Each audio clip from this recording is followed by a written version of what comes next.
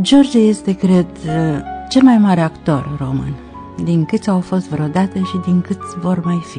Subiectivitatea mea este strict profesională, căptușită, bineînțeles, cu dragoste, cu admirație, cu venerație chiar.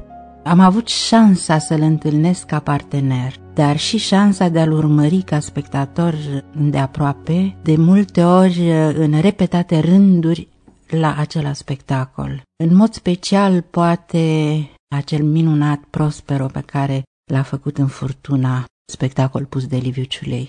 Am avut senzația că nimic pe lume nu va putea egala vreodată uh, generozitatea acestui artist de, de a fi luat de model. Din păcate, cei tineri nu-l mai pot avea decât uh, pe benzi magnetice sau uh, pe casete video.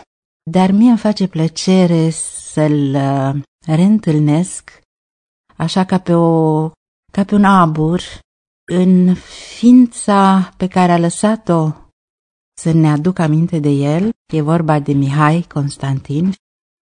Mie mi se întâmplă însă și ceva totuși cu totul neobișnuit, neașteptat, nesperat, în vremea când uh, îl întâlneam pe George la radio sau uh, pe culoarele teatrului Bulandra.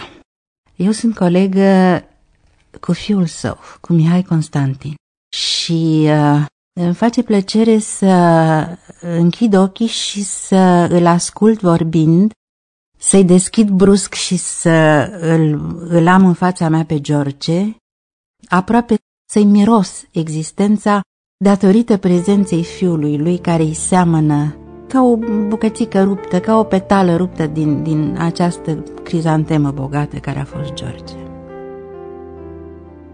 Mi-e groază de bătrânețe.